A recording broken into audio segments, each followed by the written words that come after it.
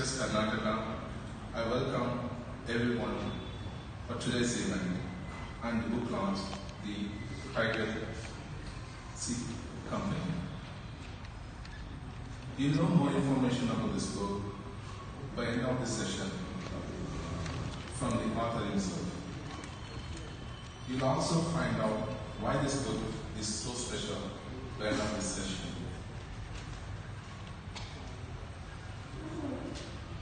It's an honor to welcome our guests onto the stage. Let's invite our guest, Sri Jagdish Shetty onto the dais.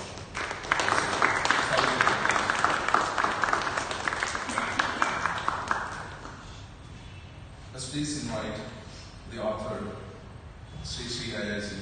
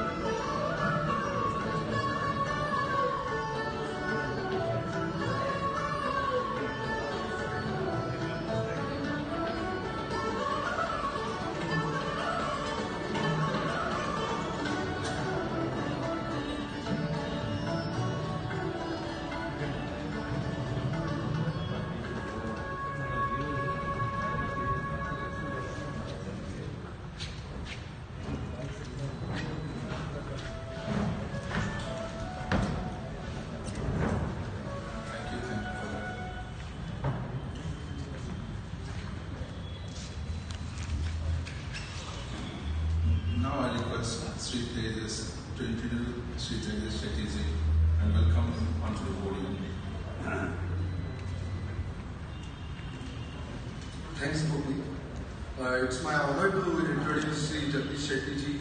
Uh, he's the National General Secretary of Virat Hindustan Sangam, uh, which is a product of emergency uh, from 1975 to 77, and uh, where Lok Nayak Narayan, Jayaprakash Narayan's anti-corruption movement, and he has been a member of the Janata Party since its formation from 1977, and after now it's uh, merged with BJP.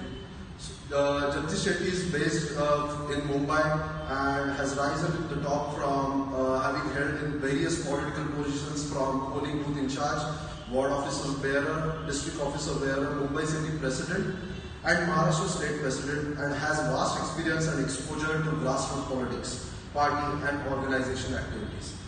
Jagdish Shetty ji came in contact with Dr. Subramanian Swamy in 1977 and has been his close associate for nearly 40 years.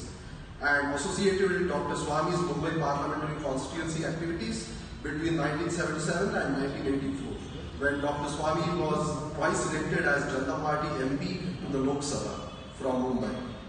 Born in uh, 2nd October 1957 at Nashik, Maharashtra State, Mr. Jagdish Shetty is a graduate from Bombay University and also holds a diploma in public relations and has vast exposure to legal and regulatory matters. He is now also a consultant in Mumbai to many corporate organizations. His parents are originally from Mangalore and his father, Sri M. Vasu Shetty, is one of the founder members of the Sangha Niketan Sarvajanik Ganesh Utsav Mandal of Sangha Niketan, Mallapuda, Mangalore. Mr. Jagdish Shetty has been associated with many consumer rights organizations and has been past member of the Censor Board, Railway Users Committee. He is also convener of the Patriotic uh, Social Media Foundation, an organization for social active, media activists. So to remember, during Dr. Swamy's tenure as a Union Law, Justice and Commerce Minister, Mr. Shetty served as a Dr. Swamy's special assistant OSD in the government. His shadow of Dr. Swamy, uh, uh, it is very, it's our honor to introduce Sri Shetty. Thank you.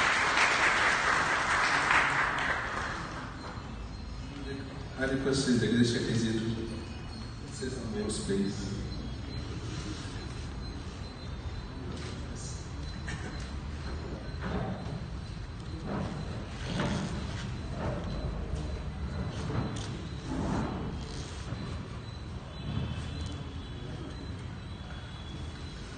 Good evening.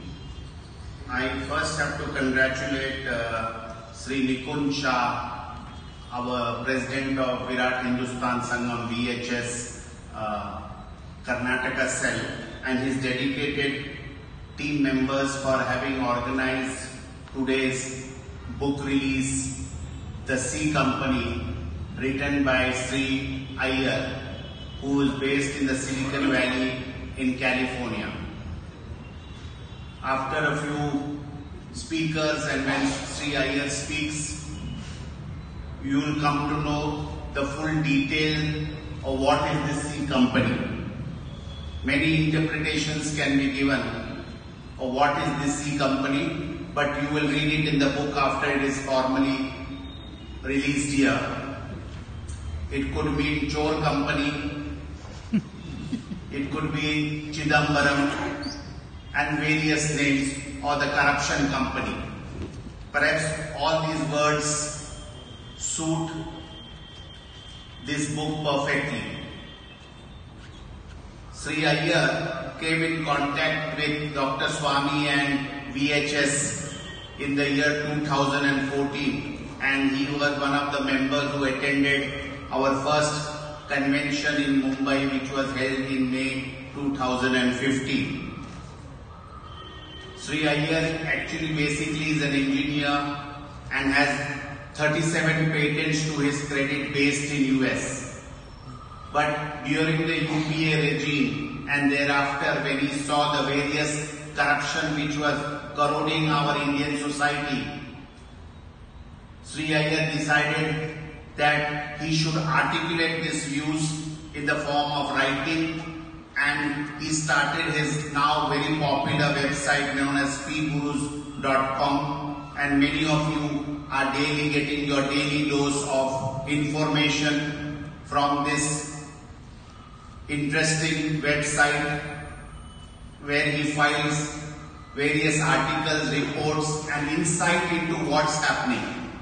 The latest as you know a few days ago he came up with a very startling report our joint secretary in the finance ministry who was supposed to be a member secretary of the SIT which was looking into black money was honey trapped in Paris in a hotel and our various intelligence agencies have recorded what he was doing in the hotel.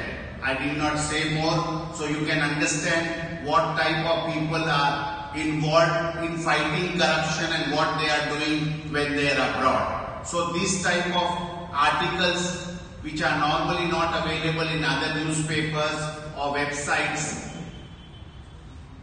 find their space in pgurus.com and it's everybody daily looks out for these articles on his website to know more about what is happening.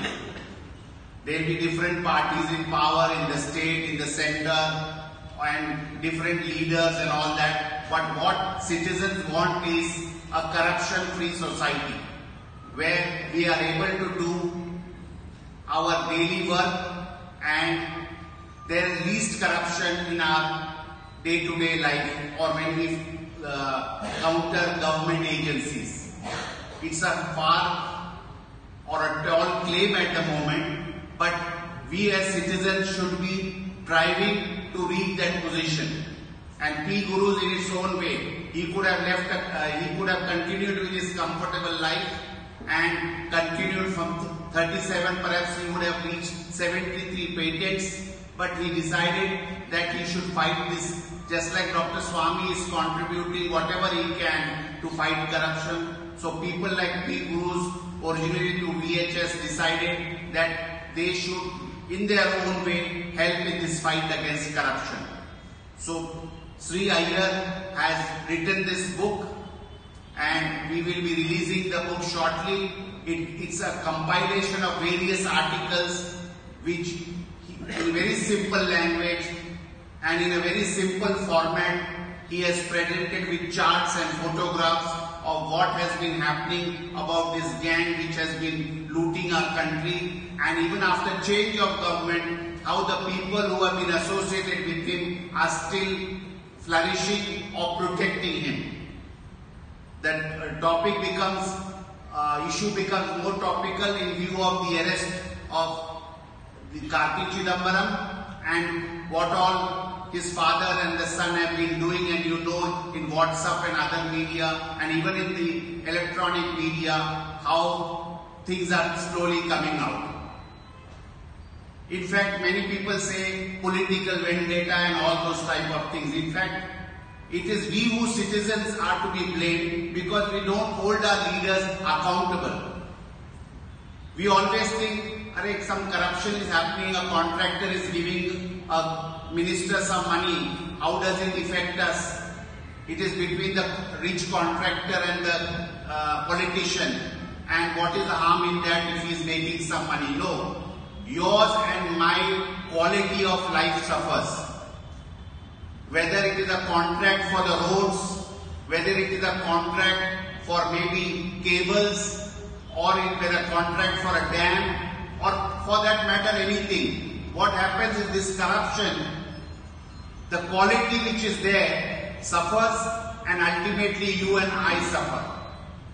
You will see the various scams which have been happening. All that is due to this corruption which is like cancer corroding our society. And if we allow this to go on, ultimately we will head towards absolute poverty. People don't understand the implications and that's why Chalta Hai on the name of Chalta Hai, all this goes on. But no, we have to raise our voice and protest against this. This mafia is very strong. As you know in the uh, Radia tapes you must have noticed, there were some journalists, although I must compliment the present electronic media which has been really exposing all these scandals, but there are some select journalists, if you read, hear the Radia tapes, you will come to know how some of the key journalists used to take instructions from key business houses how to slant the stories appearing in next day's paper. Suppose you are reading a Kannada newspaper, a popular journalist would try to slant that news and plant it in such a way that you form a different opinion. Whether it is National Herald case or whether it is the uh, aircraft purchase case or is the Air India Airbus purchase scheme or name it, whether it is 2G, coal scandal, how to slant the news and plant it so that people like us, the common people, get misled and give the benefit of doubt to some of the rulers or the corrupt rulers. This is what some of the select journalists also have been doing. Vividly, you can hear in the tape, a journalist says, I'm sending you my the copy of the article I'm writing which is going to appear on the Sunday newspaper. See whether it satisfies your interest and the slant I have given to the story. So all this time, we are programmed to tolerate all this corruption nonsense. We must come out of this synodrome. Because as anything happens, any item comes, there may be two, three sides of the uh, aspects of the story. But the Western interest will always want to create confusion and plant a different angle to it. So we as citizens must be alert and fight against it. So Sri Iyer has really done a great service by publishing this book. In the past, he has published numerous other books which were very popular. One, one is that NDTV fraud. As you all know what NDTV is all about and how they have defaulted, but still proper action has not been taken, but it is inching towards it. Then he wrote another book on the rise and rise and fall of and he has written another book on the economics issue and Bitcoin, perhaps. GST. Ah, and GST, sorry, on GST. And he keeps writing various articles not only on corruption but on various economic issues and social issues. So he has to be complimented for having come out with this interesting book which will really be of interest to you. I hope you will encourage other people also to read it. I'm also thankful to Mr. Murli M, Sri Prasanna Kumar and Sri Giridhar Upadhyay for gracing this occasion and encouraging our VHS members for this book release function. As you all know, VHS was established, Virat Hindustan Sangam was established in 2014 in mid-September. It was a culmination of a movement which we had during the UPA time which was known as the triple movement. All those people who followed Dr. Swamy on the social media used to regularly have meetings. I recall the first meeting was held in your city in Bangalore on 25th of December 2010 where people who are active on social media all got together and in this very city we had a meeting. From there we had various forums, Mumbai, Hyderabad, Chennai, Delhi, Gujarat and various other places where people who are not affiliated to one political party but those who are hungry and wanted to spread the message on social media. I very well remember that time people were asking me, you all are basically using the social media to expose the corruption of the UPA. But many people were expressing and having debates with me, sir, but we are a small group. Our reach is limited. How will we convince the villagers? How will we convince the rural flow? What is wrong with the UPA and the various corruption? I kept on telling, please do your duty, rest will follow. I very well remember many of you are present here, we used to have this debate. Maybe our social media group is not strong enough, how will the entire nation get the message? And I kept on telling you, no, we'll do our bit, rest will follow and ultimately you know what happened in May 2014. We may not be, many of us may be affiliated to BJP, Sangh Parivar and others, but we are not, not necessary. We have VHS members who are from other parties also, basically uh, not necessarily the present opposition party, but many of them are from various shades of life. Some are not with any political party. So as I mentioned, this was born in 2014 and we have in about 20 states of India we have units and we have overseas unit in places like Japan, Singapore, Bangladesh, Middle East, Europe, UK and even the US. Virtually in US numerous states we have units. In fact, our California unit uh, guided by uh, Sri Iyer is very active. They have as many members as you have in uh, Karnataka. There is an active group there of all the people who are of Indian origin and they periodically meet. Now we are having a cow protection uh, seminar on the 20th of uh, May organized there for which Dr. Swamy will be going.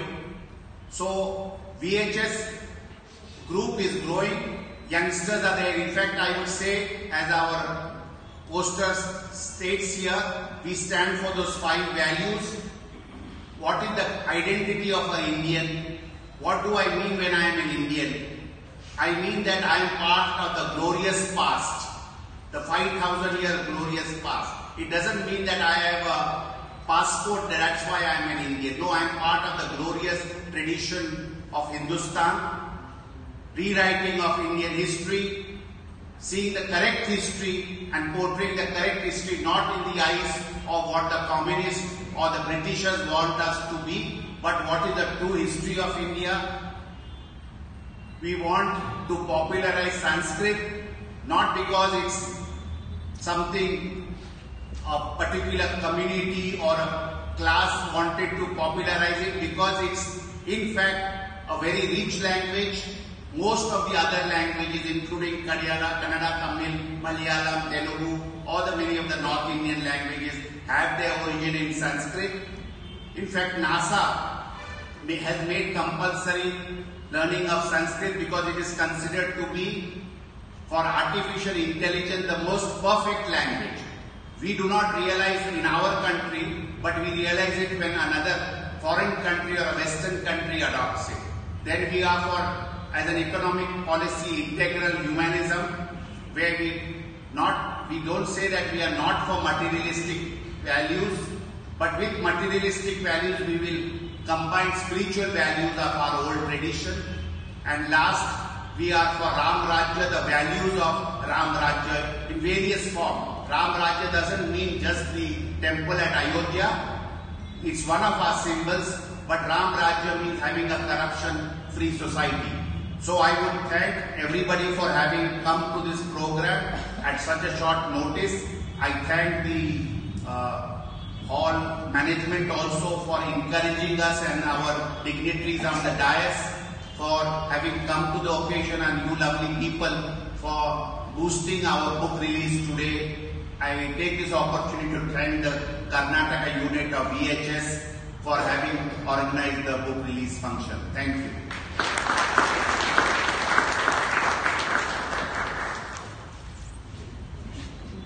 Thank you, Sri Jagdish Shetty for a wonderful speech and explaining what is VHS and what VHS stands for.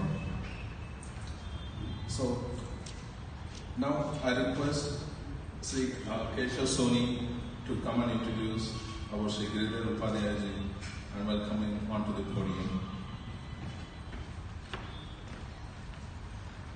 Thank you, Gopi, for giving this opportunity. So it's a privilege to introduce Giridhar Upadhyaya ji. He's based out of Bangalore, a staunch nationalist. So he has he has completed his masters and his PhD in the stream of micro medical microbiology. He is currently working as a professor in Kempegowda Medical Institute of Science. He is associated with the institute since last 22 years. Apart from his professional life, he is very much he is very much into social service. He believes in giving back to the society. That's make him associated with RSS, RSS wings. He was with Akhil Bharatiya Vidyarthi Parishad. He was with many of the wings of RSS since last 37 years, holding various positions. Now he works as the president for Manthan, an intellectual forum based out of Bangalore. Works as president for Bangalore, and also he is the member of the Mythic Society, managing committee member of the Mythic Society. Apart from all this, he is also he also takes part into a lot of uh, intellectual debates as a TV panelist or to the national level and the regional level on various subjects such as education, such as healthcare, and also nationalistic issues. To lastly add upon, he is one of the great asset to the right-wing ideology in Bangalore. Now I request Giridhar Upadhyaya ji to address the gathering.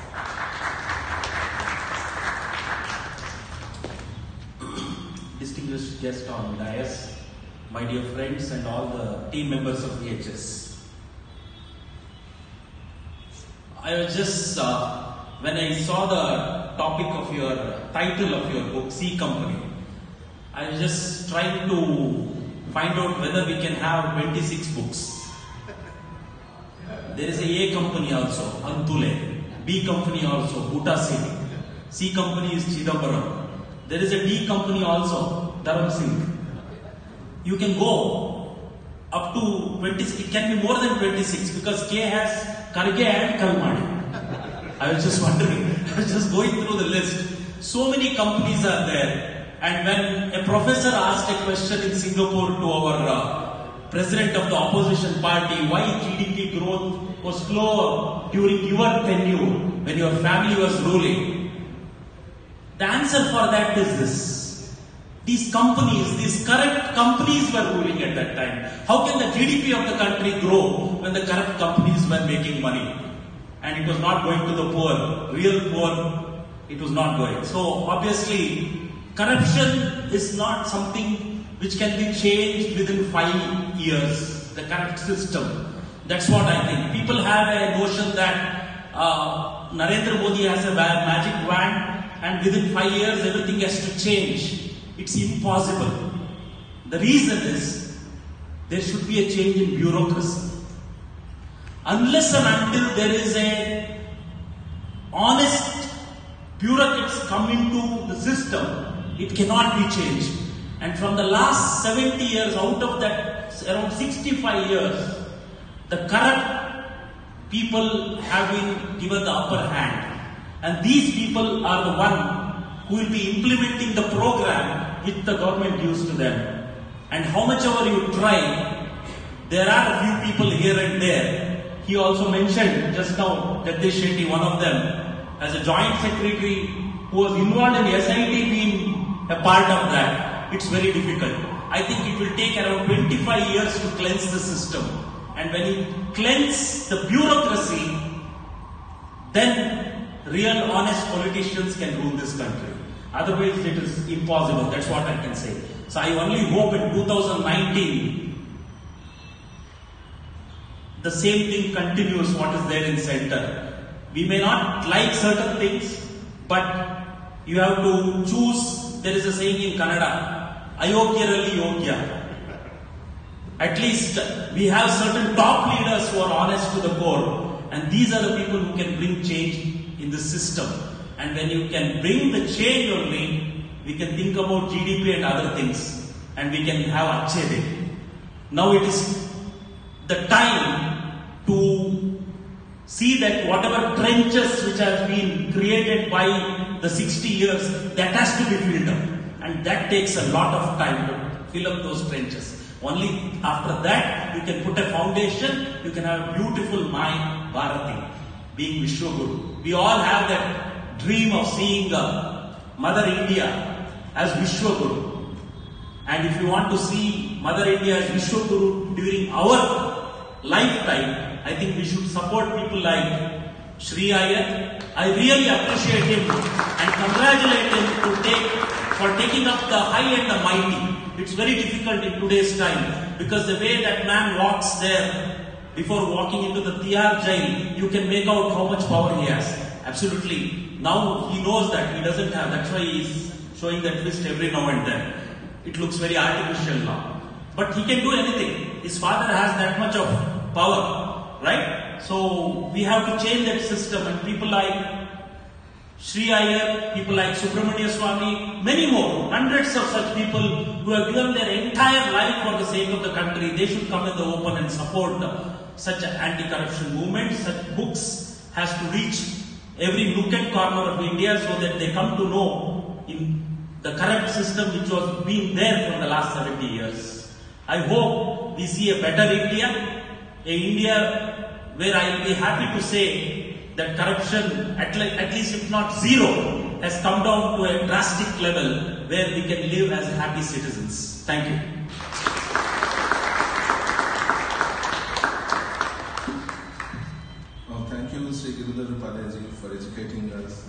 About ABCD once again and cleansing the system and award in Mother India.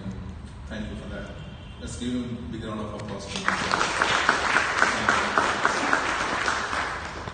Now I request uh, Sri Shashidhara to come and introduce Sri Murali and welcome him onto the podium.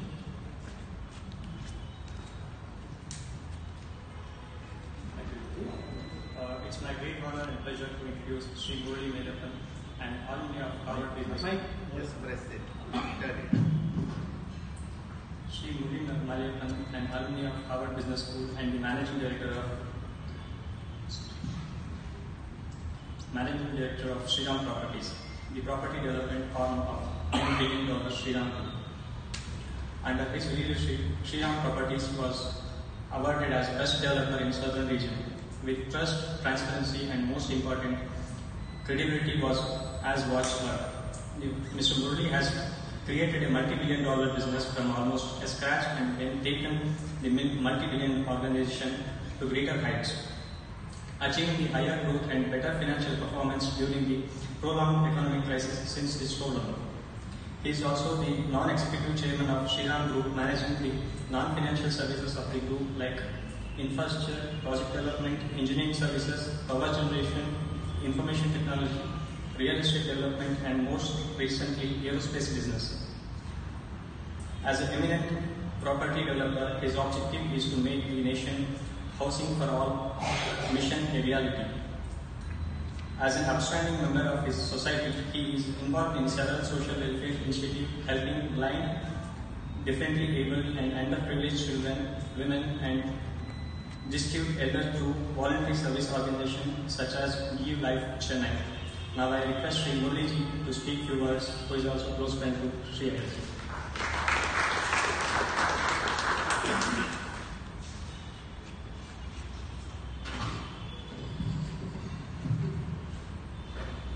Good evening, friends. Mr. Jagadish Shetty, Mr. Prasanna Kumar, Dr. Upadhyaya, Mr. Nikun Shah, Virat Hindu Sangam for doing this uh, excellent uh, program and taking the lead, and my friend Iyer. Ladies and gentlemen, it's a great privilege for me to be here uh, in front of you on this occasion. To be very frank with you, I do not know what occasion was. I am yet to read the book, and uh, she said uh, there's a book released.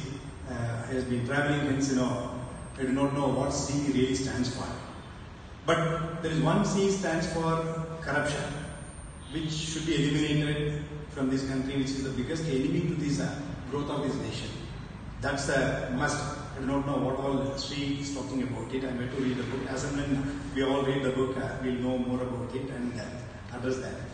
But I must uh, appreciate Sri. I mean, uh, he was introduced to me by Professor Indranathan some time back. Since then, I mean, I've been uh, watching uh, closely, uh, watching Sri, what all the activities he has taken up.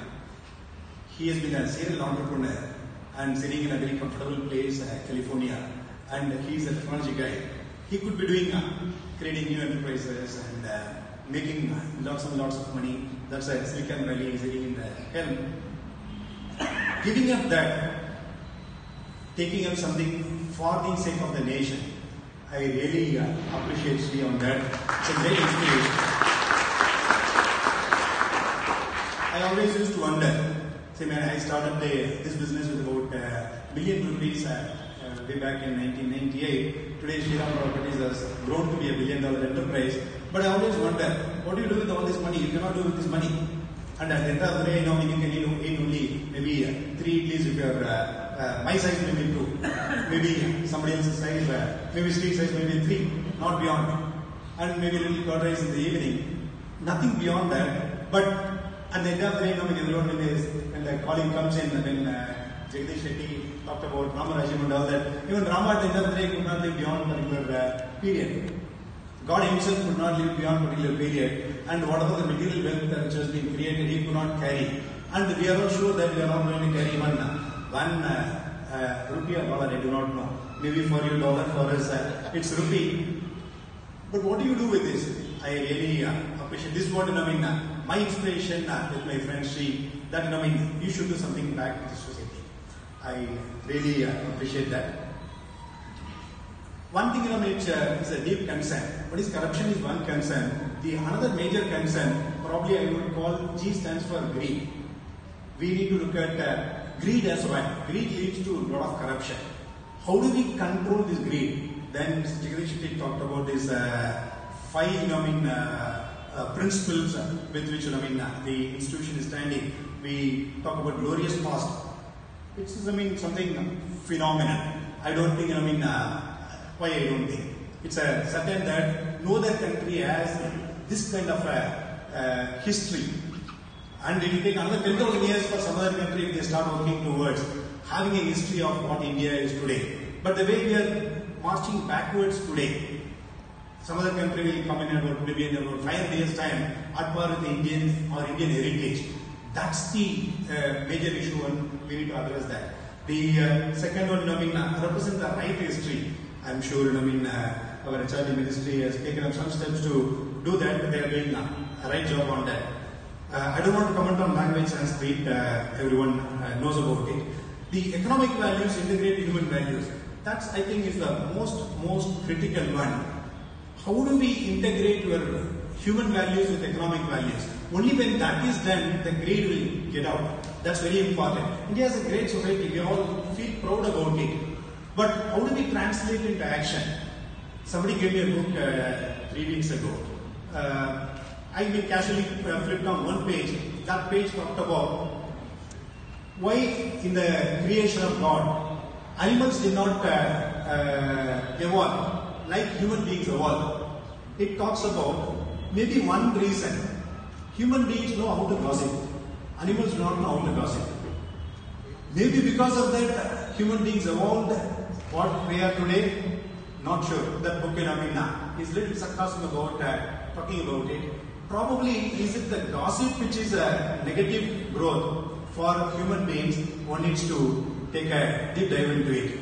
The other one uh, I really enjoyed uh, Mr. Shetty's uh, Ram Raja. He talked about it. But how many of us uh, uh, probably are willing to live a Rama's life? Everyone loves Rama. Everyone believes he is the ultimate God. But Rama's life, if you look at when he lived, is a the epitome of miseries after miseries after miseries. He did not get in his lifetime whatever he wanted, except serving to the people who all he wanted to do it. He did not get anything. When uh, he wanted his father at the best time when he wanted, his father could not be there. When you know when he wanted to have a good life with his wife, even though his honeymoon was a misery. I don't think you know every I mean any human being here would love to have honeymoon of what Rama in the hand. It was a misery. When the children of Rama wanted the most of the father, he was not there with them. But I mean, if you look at Rama's uh, history, he's a complete package of miseries, miseries after miseries after miseries. I would love to be a Krishna rather than Rama. 16,000 women, that's what I mean, Bhagavad Gita says, 16,000 women. All the 16,000 were very happy. He still uh, lived a brahmachari. It's an ideal situation. And you know, mean, uh, vibration all over. And he decided what you know, mean, uh, he wanted to do it. Even you know, I mean, Paurnami changed, Amavasya changed. Whatever he wanted to he change, he wanted to change. But Rama, like some of the good entrepreneurs like us, wanted to stay firm and getting beaten up. All the time. Getting beaten up, beaten up, beaten up. One after the one after the. I do not know whether you would like a Ram Rajya where you will be beaten up throughout. Or you would like a Krishna Rajya, you create your own uh, space and rule the way you want it. I am not still sure what is the best. Probably we are all happy. We are one man. He is leading a life of Ramakrishna, which is nothing but Narendra Modi. For him, he is living in Rama, whereas he does all Krishna's activities.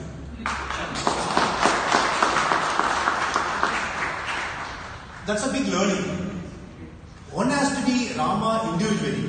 When it comes to me, personally, I need to be a Rama. When it comes to values, when it comes to my father, when it comes to my mother, when it comes, comes to my you uh, brothers, siblings, wife, Rama was the best husband. Rama was the best father. Rama was the best son one can ever imagine. Rama was the best ruler the public can have. But did he have the best of life? No. He did not have the best of life. But he was the best for everyone. Whereas on the other side, Krishna has been phenomenal. He was the best for himself and he was also the best for everyone and created that. So, as an entrepreneur or every citizen, probably for the society be a Krishna, for your sake, probably be a Rama. I see Sri also, to some extent, uh, being a Rama, not a Krishna, probably you should start working on that. I'm sure the book will uh, reveal uh, quite a lot of uh, new things. Uh, but, you know, in uh, some time back, I read a uh, newspaper article. I did not know that it was uh, Hindustan Times in Bombay. When I was coming back from uh, airport, in Nariman Point Airport, I was reading the newspaper article talked about it.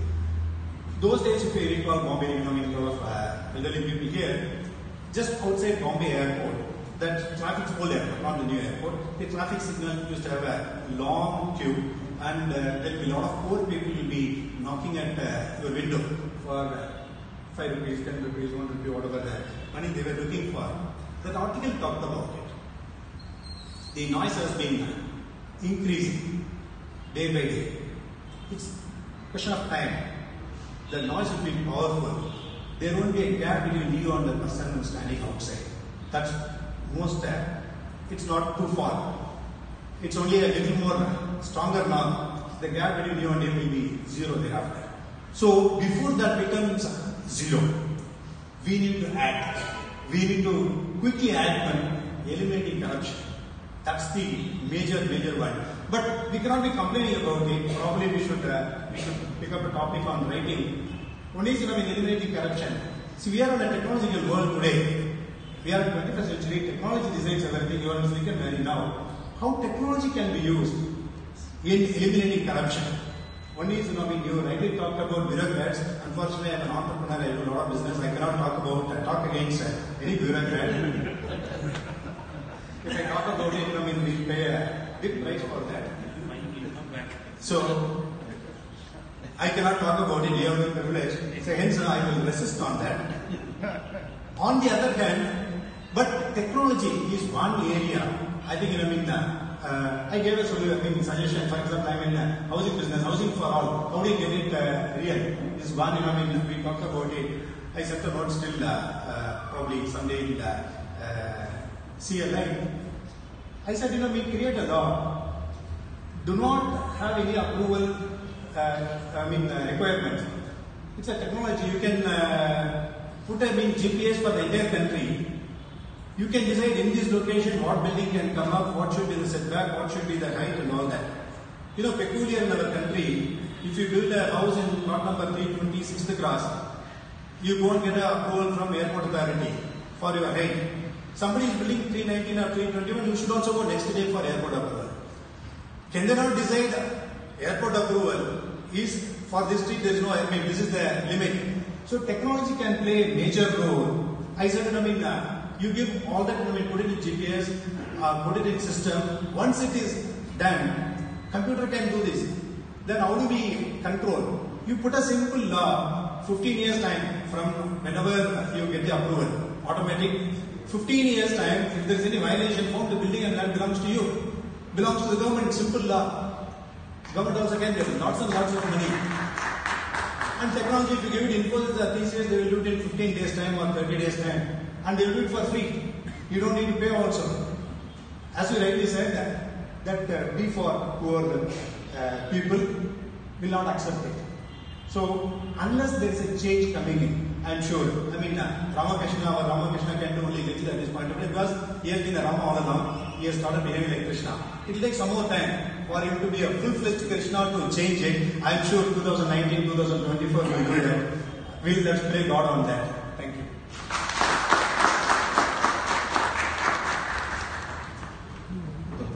Thank you, Sri for explaining what is meant by Sri Ramakrishna. Also resisting and not talking about some of them. Thank you. Let's give him a big, big round of applause, please. Now I request uh, Sri Abhijit Vasistan to come and introduce about the author, Sri Sri IIT, and welcome him onto the podium. Thank you.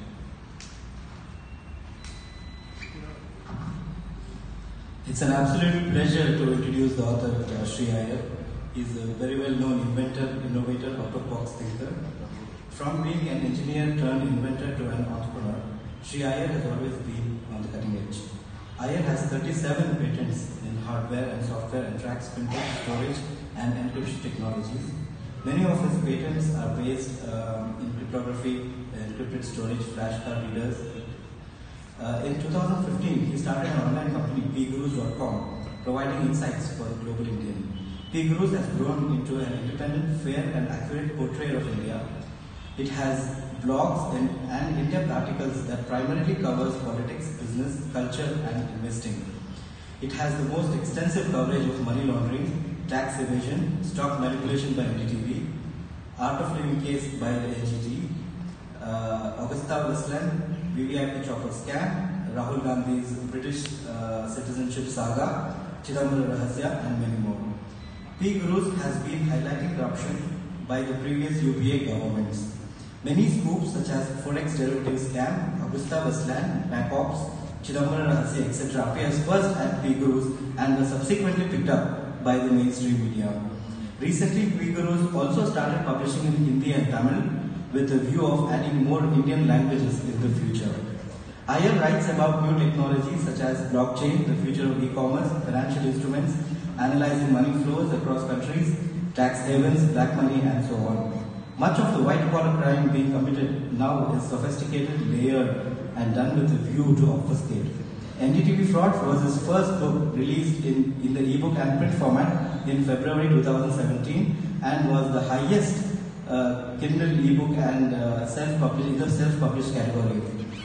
In June 2017, his second book, The Gist of GSTN, came up which describes how the newly formed uh, Goods and Services Tax Network, that's the GSTN, can be designed to create new jobs. Some of the concepts underlined in his book were mentioned in the Union Budget of 2018 in the paragraph 112. In September 2017, Iyer published his third book, The Rise and Fall of Aam Aadmi Party. Uh, I now welcome the author to address the gathering.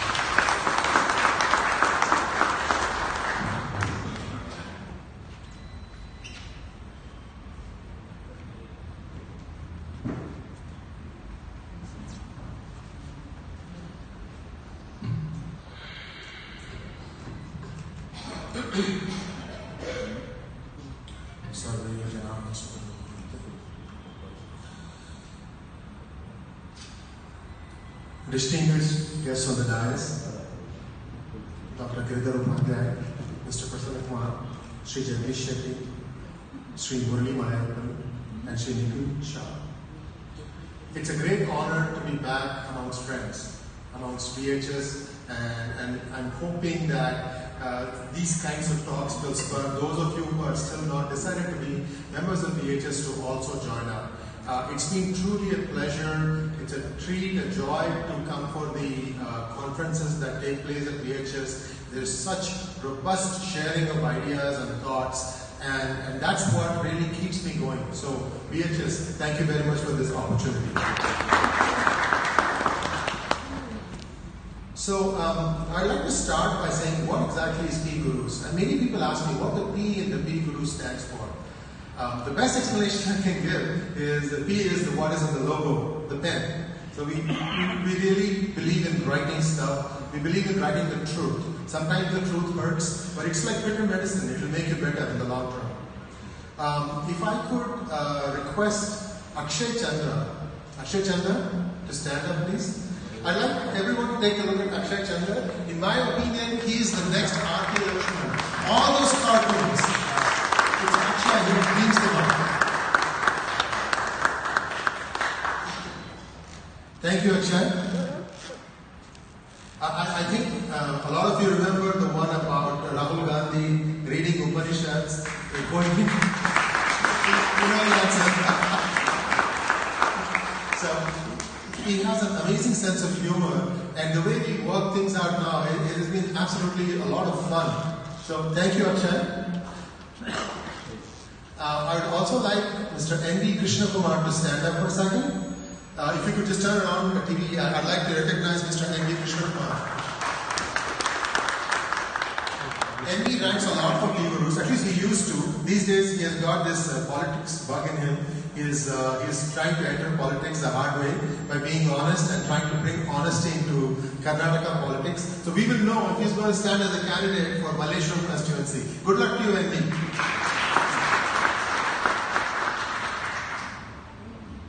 I think uh, Jagdishji explained what P-Guru stands for, so I'm not going to uh, elaborate on that a whole lot. Let's move on because there's a lot of things that I'd like to share with you.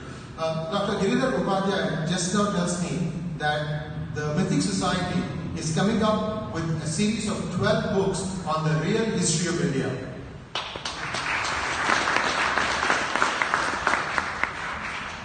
The first one is slated for release in a couple of months. A noted archaeologist? Sri Sundar, he's 90 years old, 90. Age is just a number, guys. These days, we can live as long as we want to. We can all be Bhishmas. And, and he's, he's the one who's authoring it. So please, please, when the book comes out, support him. Hopefully you'll release it here and we'll all be here. Thank you. Uh, in our own small way, we did come out with a reviews of the real history of India. for the 14th series episode. And we talked about things like uh, Lalitaditya, who went and conquered a lot of lands, maybe in Tajikistan, Uzbekistan, all sorts of places. So anyway, thank you very much for this effort, sir. So next, what is C Company?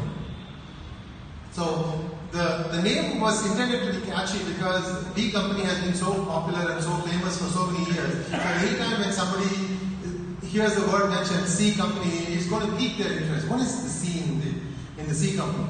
So C Company is not an uh, established company. It doesn't have a headquarters. It doesn't have an office. They don't meet, come to work at 9 o'clock and go home at 5. This is a group of individuals whose loyalty rests with an individual who's the be all and end all of the UPA government. Many of you may not know this, but uh, Mr. Chidambaram was the C in the C company.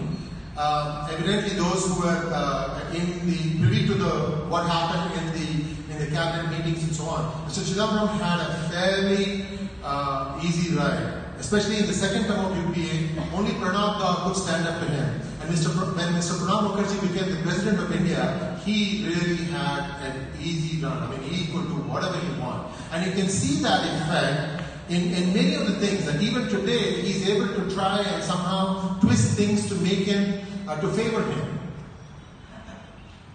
So to understand this book, I'd like us to take a, a step back to 1991 when India opened up. The license Ra- Raj was dismantled by Natagaru, BB, uh, Narasimha uh, who, he, who amazes me with his life. If you haven't read the book by Vinay Sitapati about him, I, I, I highly recommend you to read that thing. It's called Half Lion. You know, Half Lion is Narasimha, but that's what it is. Splendid book which talks about how he managed those five years as a prime minister. I mean, it's a must-read book. In, in, uh, and those of you, I mean, this is written like a novel, even though it's 400 pages uh, thick. You can just breeze through the whole thing. Like back in 1991. So the, the markets opened up in 1991, and India's stock markets also started opening up.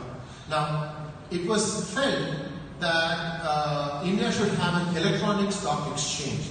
Um, just to get you a perspective on what an electronic stock exchange was, I want to take you back a little bit before that to what how stock exchanges used to work up until then. Now, if you wanted to buy a stock, you would call up your broker and you would tell him, I want to buy 100 shares of Infi, Infi, Infosys for say 1400 rupees. And that day the market price may be like 1500. And the broker will take down your order and, and then he will go to what is called as the well in the stock exchange and he'll start shouting 100 shares of Infosys at 1400. And he will try and find somebody who wants to sell his 100 shares of Infosys for 1400. And once there is a buyer-seller match, the trade would happen. Now, in 1987, October of 1987, Wall Street crashed. 27% of the value of Wall Street crashed down in one day. And, and the reason it happened was it was just a series of events when people started panicking they wanted to sell it. Now what happened was, remember I told you, you have to call your broker to sell or buy stock. Now, many people are watching the TVs and seeing the stock markets, you know, taking a big dive, and they were trying to call their broker to say that sell my stock, sell my stock, and the brokers were not picking up their phones. Part of the reason was they were overwhelmed. The switchboards were overwhelmed. The calls were not going through. So whatever was a small stock crash got accentuated. Then the Securities Exchange Commission, the equivalent of SEBI in India, they decided that they need to automate the stock market. And from that point onwards, electronic stock markets started taking shape. Now, in 1994, the National Stock Exchange was opened with a view to start trading in electronic format. So the moment NSE took root, by the way, NSE was funded partly by government and partly by public institutions such as LIC and so on. NSE did not have a single private institute uh, investor who put his own money into it. And very, in a within a very short time, NSE became the leader in India's stock market. Before NSE, there were a lot of regional exchanges. You had an exchange in Chennai, you had one in Hyderabad, you had one in Kochi, Bangalore, you name it. These exchanges are still there, but they are just nominal. I mean, they do hardly any trading. NSE wiped them all out. Maybe that was for the better because this was an electronic stock exchange, so it did do a few good things. But what NSE also did was it started eating into Bombay Stock Exchange turf. Bombay Stock Exchange was a 140 year old organization and the brokers in Bombay Stock Exchange saw the writing on the wall and slowly but steadily all of them started gravitating towards NSE. And once that happened, NSE was reigning supreme. 1994, Mr. Chidambaram may have been out of power, but he was in power as Minister of Commerce and then he quit that, but he came back into power, I think, towards the fag end of Narasimha Rao's career. So he, he was the Commerce Minister then. And then he was a finance minister in 1996 and 1997 through the Deva and uh, Gujral governments. And then finally he became the finance minister in 2004. From 2004 to 2014, he reigned supreme. He, his word was law. I mean, it was more like God's will.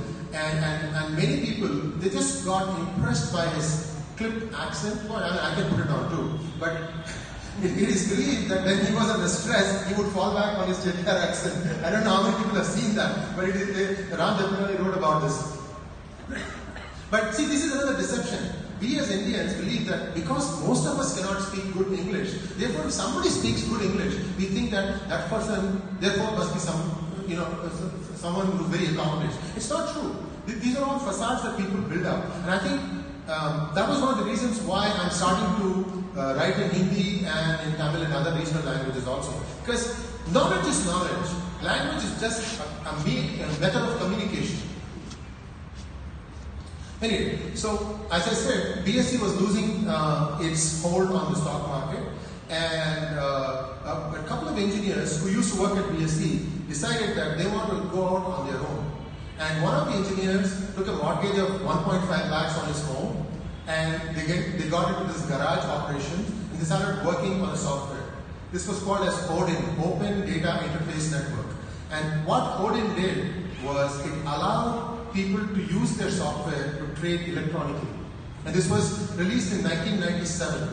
Now, Odin had a really hard time creating a market for itself because at that time all the brokers used to buy software from IBM and Oracle. However, there were small brokers who could not afford the high fees of the US based software, but they started buying Odin. And once they started realizing that Odin could match uh, every feature of the US based software, word started spreading around, and pretty soon Odin was across all brokers. So that's how the technology company called FTIL was born.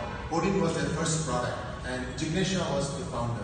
Now, there, there has been a lot of uh, chatter on Twitter and other social media platform accusing me of NSEL. I'm not going to talk about NSEL here. I'm going to talk about the entrepreneur, entrepreneur Jignesh Shah, because I see in this audience a lot of you who are going to go on to become entrepreneurs. And I'm going to try and explain to you the story that how he got how he got sparked with new ideas. How many of you know Zaveri Bazaar in Bombay? Show hands. Good, or at least a third of you know Zaveri Bazaar.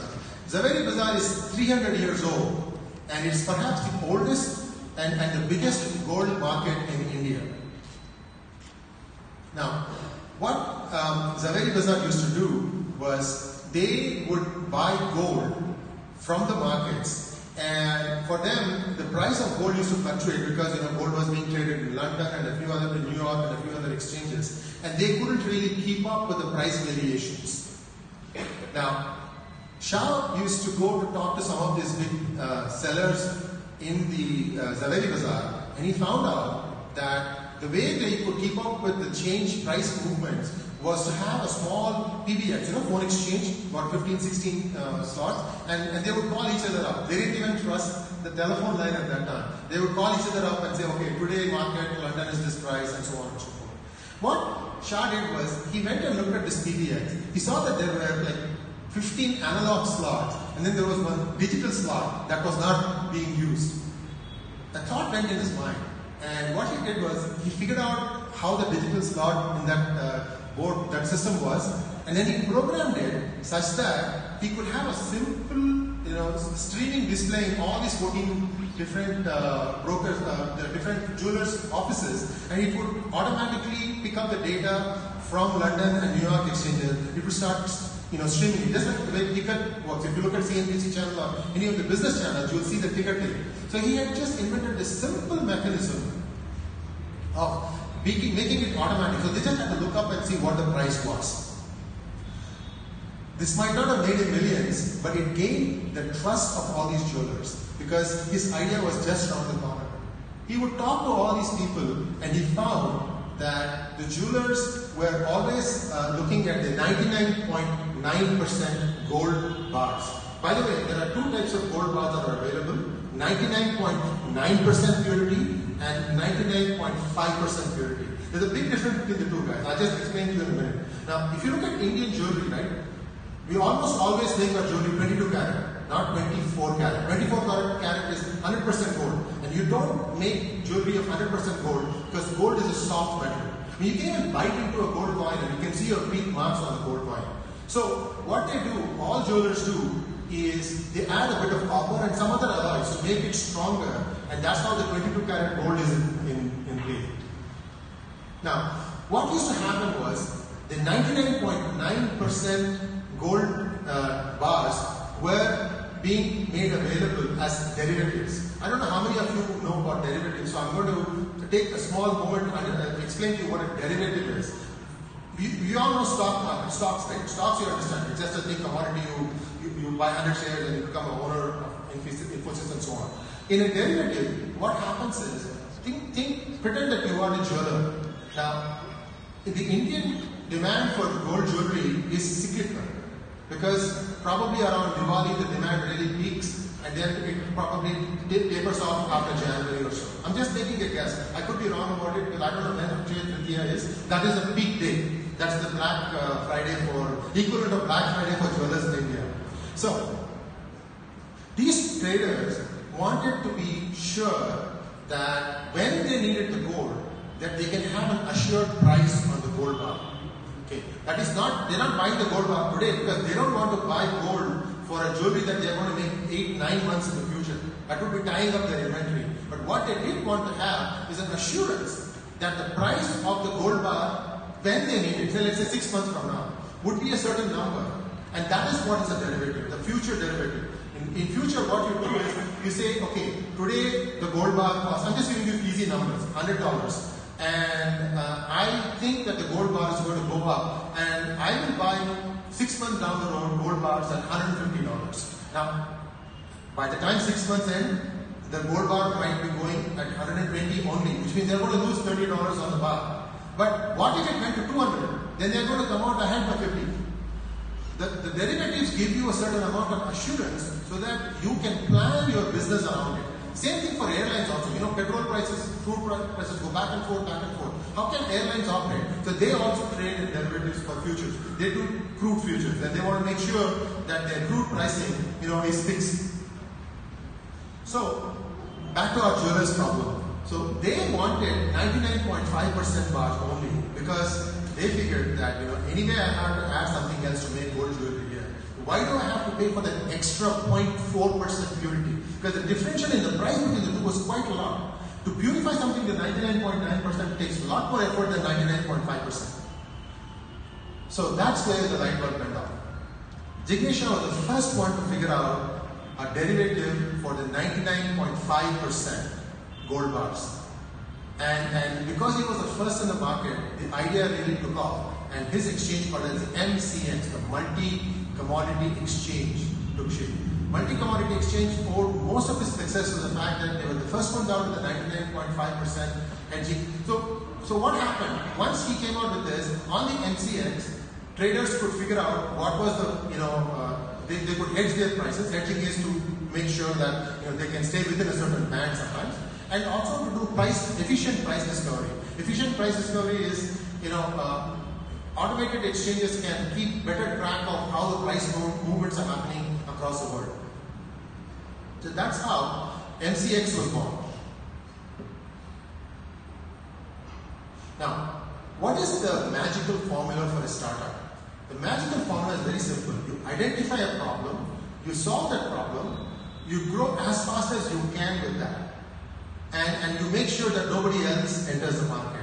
And that's exactly what Jignesh did. He had this one product, MCX Exchange, and he did a really, really good job designing that so that he could then go and grow it in many more vertical segments. You all know what vertical segments are, right? Vertical segments are, in, in startup parlance, what it means is you have a fundamental technology, and then by changing a screw here, changing a nut there, you can do a new product. And that takes a life of its own and then starts running. Now, to be able to do all these things, you have to have very, very good fundamental technology. Without that, you can't do all the verticals. So, uh, to, to give you a real life example, think of you know um, uh, what takes, uh, what goes into making idli, dosa, uttapam, etc. You know, with a little bit of creativity, you can have one dough. Okay, with that one dough, you can do all these three things. It's, it's, it's, it's something that's very, very similar to that.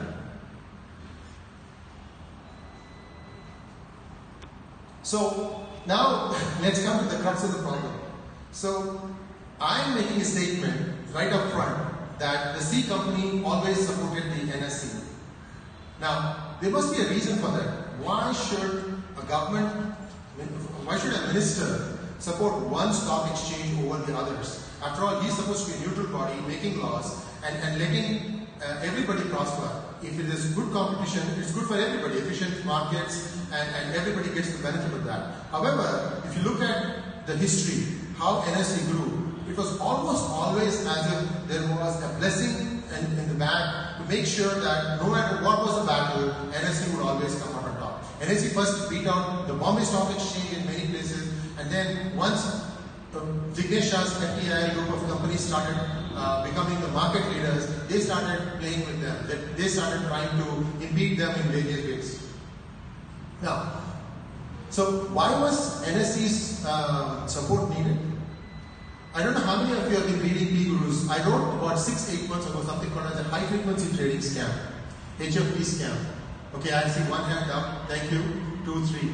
So uh, I, I'll just take a few minutes to explain what really high frequency tra- trading scam was. Um, there were these buzzwords in Wall Street called as co-location, high frequency trading, and India said, yeah, we have to have it too.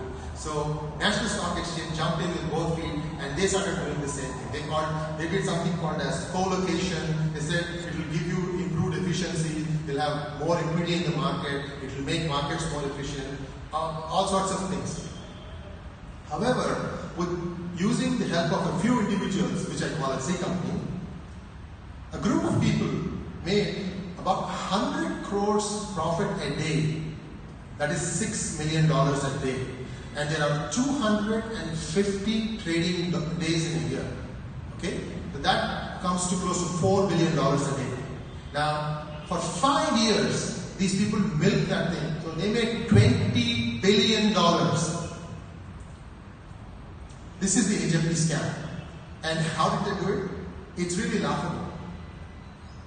The first thing they did was they allowed companies to co-locate along with the servers that did the actual trading. So in electronic trading, what happens is there is a national stock exchange server that arbitrates who is the buyer, who is the seller, and match the two. Okay, so when, when you when you have this thing called as co-location, what you could do is either the buyer or seller or both could have their computer very very close to this server which is going to decide. Now, what is the advantage of that? I'll tell you. Supposing the buyer is sitting in that co-location, Bandra Kurla complex, and the seller is sitting in say Bangalore. Okay, the time it takes for the order to travel from Bangalore all the way to the server is much much more than what the time it takes for the co-located system to solve. So think of it like there are two two two friends, Hari and Ravi. Ravi, both of them go to the same school. They take the same bus. Ravi stays in a house where the bus stand is right outside his house. And, and Hari has to come like three streets, walk three streets to come and catch the bus.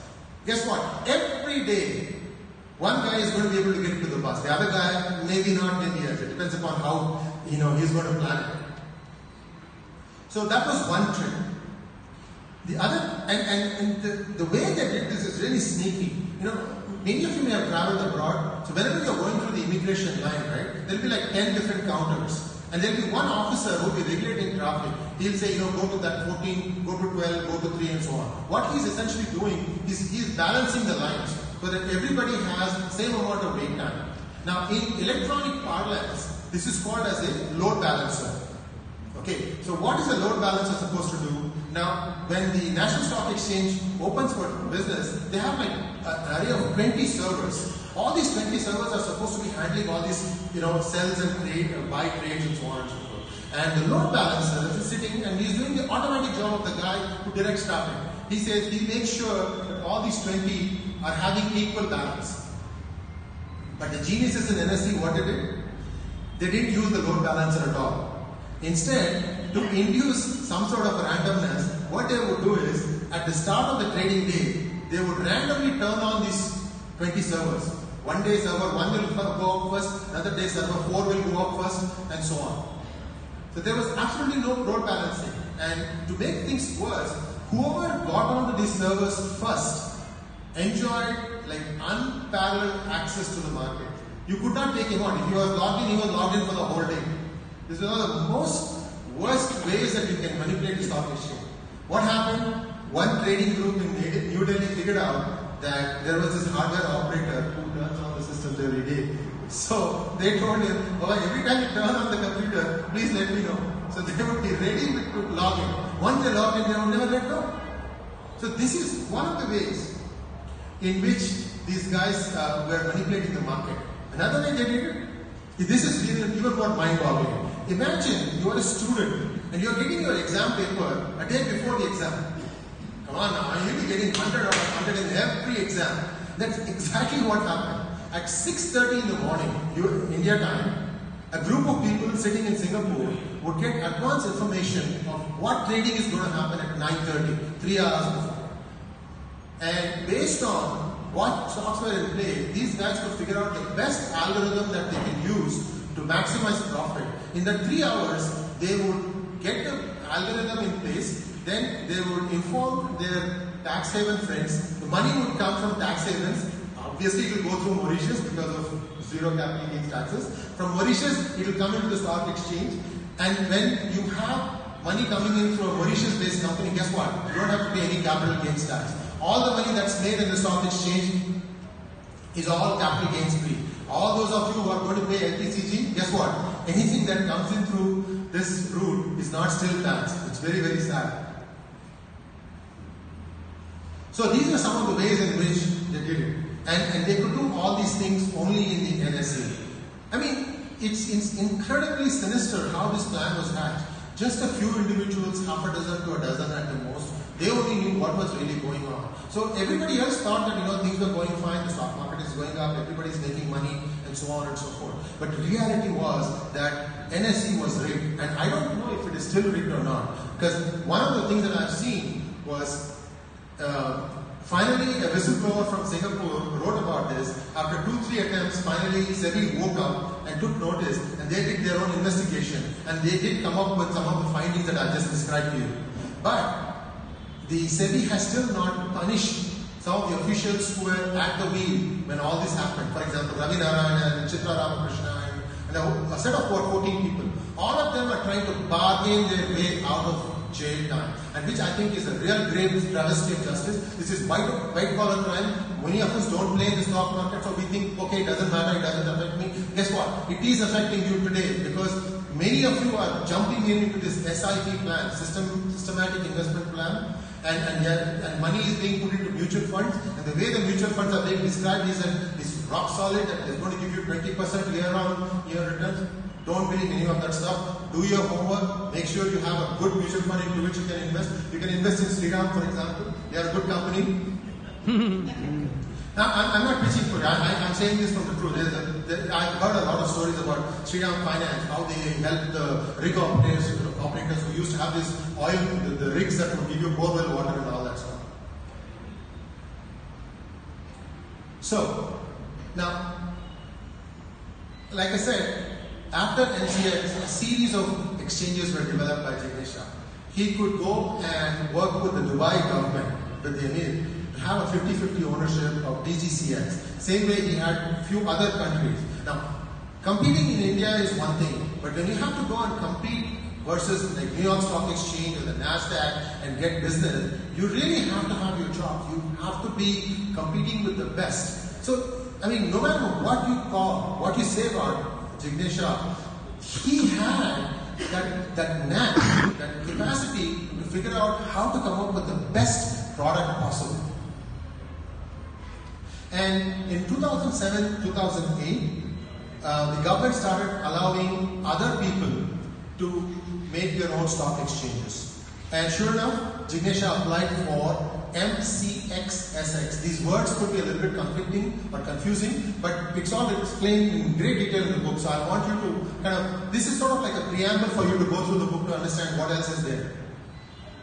So the first thing that they did, that is NSE, that is, I'm sorry, the, the C company guys, with, with NSE, SEBI and Finance Ministry. The first thing they said was, for the MCX SX company, no entity could own more than 5%. This rule was not applied to any other exchange. Huh? This is something that they just dreamed it up. And they also said, if you have a group of companies, the combined uh, investment from the group of companies had to still be 5%. When MCX was formed, okay, it had 51% of one company of Shah and 49% of another company of Shah. All of a sudden they said, you have to get rid of all this stuff, we can only allow you to own 2.5% each. The idea was to make them, to force them to go to the market to go, the, go get the funding.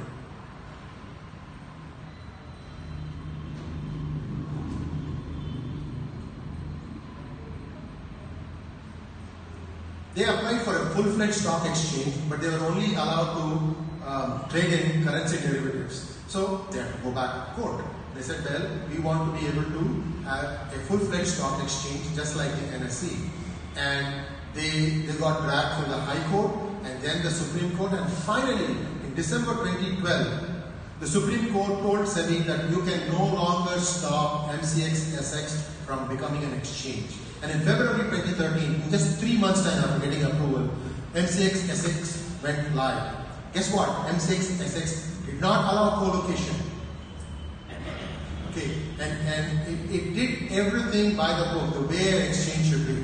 But for these people, the writing was on the wall. They could no longer do all the tricks that they were doing in NSE in this new exchange. Plus, they know from past history that every time Shah entered a new uh, territory, they were, he was going to win in the long run. So, what did they do? They, they came up with a manufactured crisis in NSEL, which is one of the subsidiaries. And, and the rest, as I say, is history. Uh, government moved with amazing alacrity to call all the entities not fit and proper and Shah was forced to sell every one of his exchanges at fire sale prices. And, and the, the last uh, nail, uh, last straw on the camel's back was the recent Bombay High Court judgment whereby they said with the uh, advice from MCA that under Article 396 two companies, one is the NSEL and the other one is a profit making company, that they too should be amalgamated. This is a very big blow if this stands up in Supreme Court. And I'll tell you why. There are two public companies, one making losses and one is making profit. And the High Court has said that the two have to be built together so that the, the remaining entity will be able to continue. Guess what? Anytime you can easily pull down somebody who's flying high. You can't pull up somebody who's flying low. That, that's Gravity is there, Jupiter's gravity in fact. So it, it, it's very difficult to do that. But if this thing stands up in Supreme Court, then it would be really, really bad for many of the conglomerates. We know for a fact, for, example, if you take Tata Group of companies, TCS is the only one that's profitable today. Tata Steel, Tata this, Tata that, all of them are loss making. But TCS makes up enough and then some for them to still run all these things.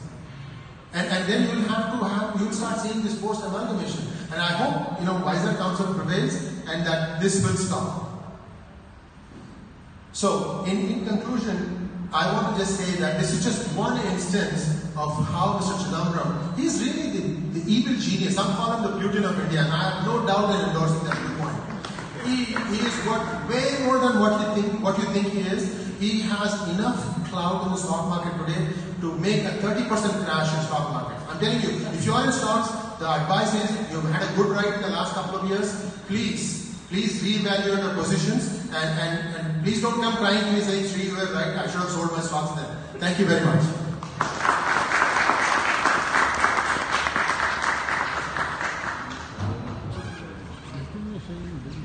Thank you, Sri, for amazing speech and enlightening about your book.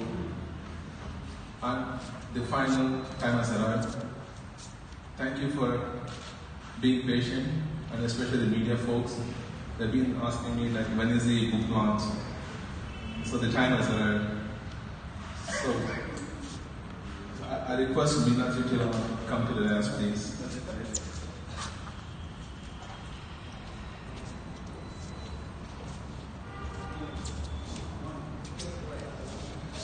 So I request Jagdish Shetty to uh, launch the book titles Company. Thank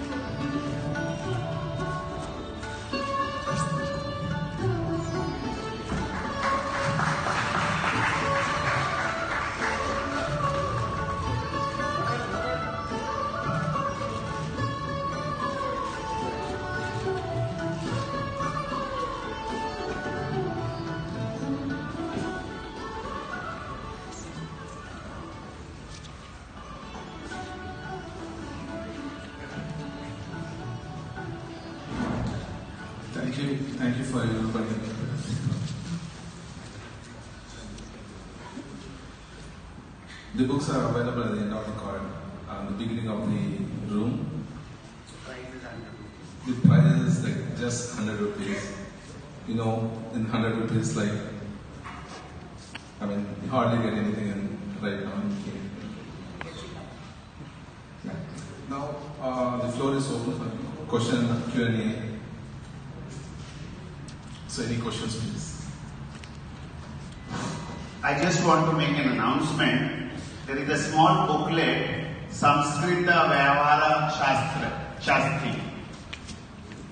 One of our VHS volunteers, Mr. Devarajan, has got copies of the book, which, as per our VHS uh, uh, vision and uh, uh, th- th- th- this Sanskrit, it popularizes Sanskrit, it is published by Sanskrit Bharati.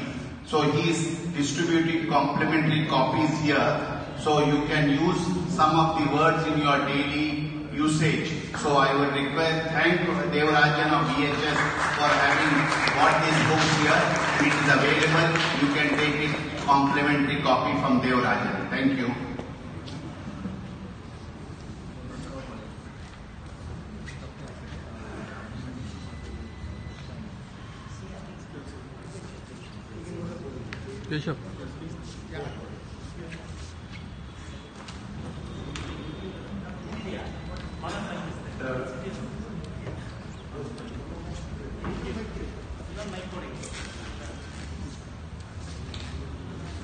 the question.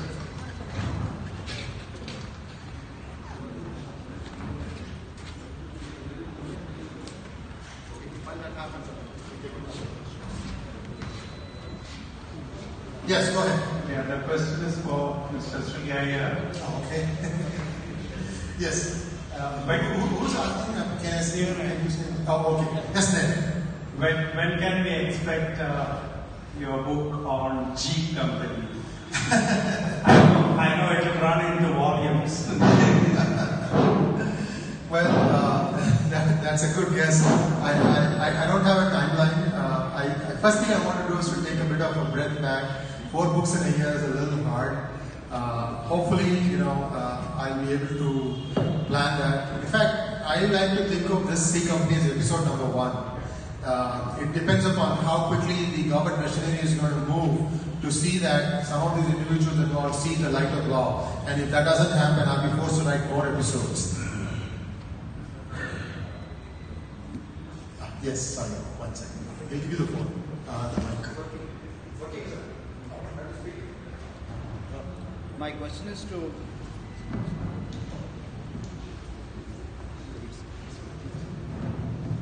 Yeah. Yeah. go ahead.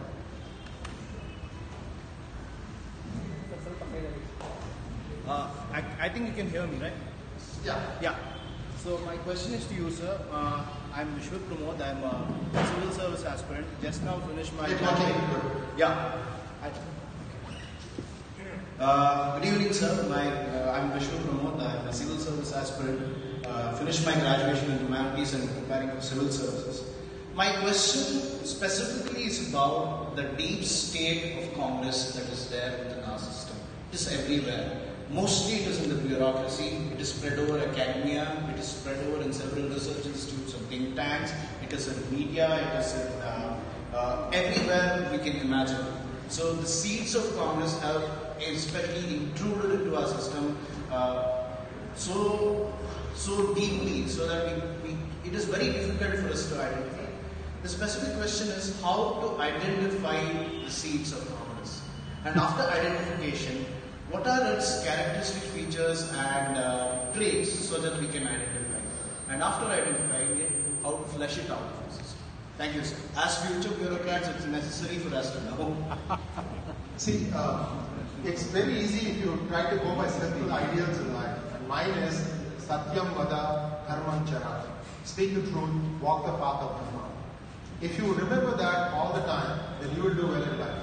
I mean, like uh, what Murali said, doesn't matter how many millions of dollars you have, you cannot make your son smart, nor can you live forever.